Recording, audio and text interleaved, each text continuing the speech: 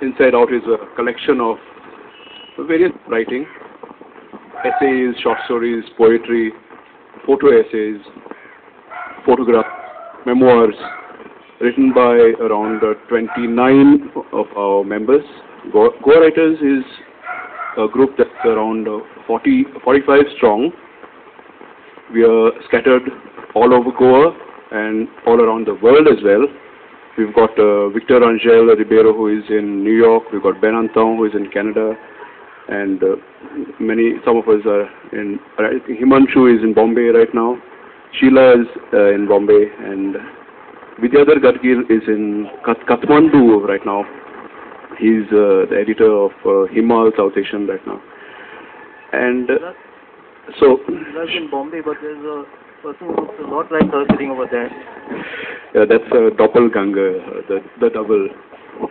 So, uh, Goa is around five years, I think it's almost six years old. It started as a, a, a kind of fallout of a writer's writing workshop, an editing workshop that was conducted uh, six years ago on writing and editing. And a few of us at the workshop, at the end of it, we said, why don't we meet and, you know, hang out more often and, uh, uh, you know, discuss our writing and critique our writing and generally, because that's something that all of us love doing.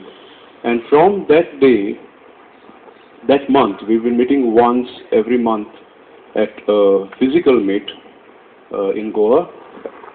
And uh, we are also very active online. What we do at uh, each meet is, uh, I think Helene can tell us about what we do at a meet. Just a, a background. Sit round in a circle. oh, okay. Um, basically, at a meeting, uh, whoever has written something, they bring and we critique it. So it goes round in a circle, and our moderator, Mr. Pinto, who I don't think anyone's heard of, uh, he is very strict, and we have to go round, not in alphabetical order or age order, but in a clockwise direction. And each of us goes through, gives our comments, uh, criticism, ideas, and advice. And if you're the poor person who's subjected to this interrogation, uh, you're not allowed to actually speak until the last person has finished. He's very strict about that. Um, it's very constructive as a writer to get that sort of feedback in a safe environment with your friends and those that you trust and respect.